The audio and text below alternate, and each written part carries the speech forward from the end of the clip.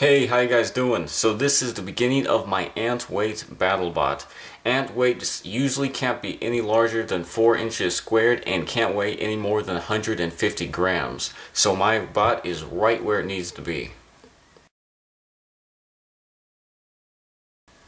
So my robot is by no means completed just yet, but I have gotten a lot done as far as the body goes. So I made the body out of Lexan and I super glued it together using crazy glue and the bonds are actually a lot stronger than I thought they would be. It's a very, very durable glue and the Lexan itself I'm having absolutely no problems with whatsoever.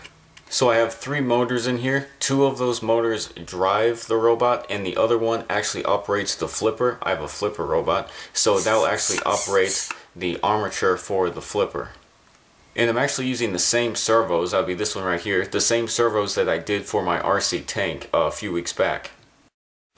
And so if you look on front of the flipper, there's this little metal piece here. And this is actually some sheet metal I got at Lowe's. And I tried to build a little bit of a scoop on the front of this to try to get up underneath of the robots.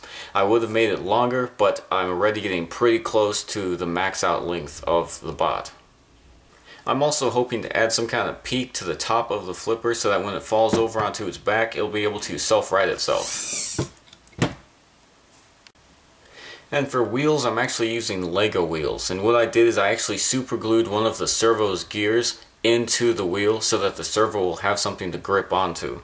And these wheels actually work quite nicely because as you can see, it's very close to flush with the bottom of the robot, but it sticks out just enough to get traction on the floor.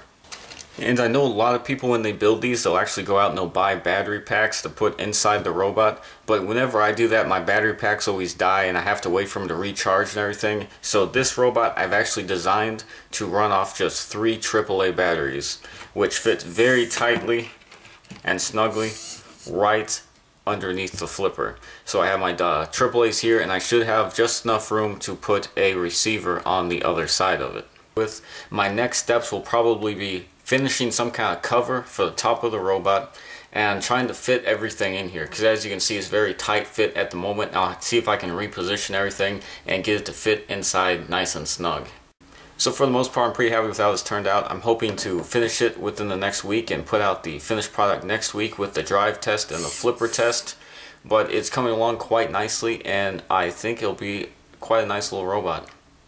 Awesome. So thanks so much for you guys watching. If you enjoyed this video, please feel free to hit the thumbs up and subscribe. And Lord willing, I'll see you next week with part two. Thank you for watching, and please feel free to subscribe.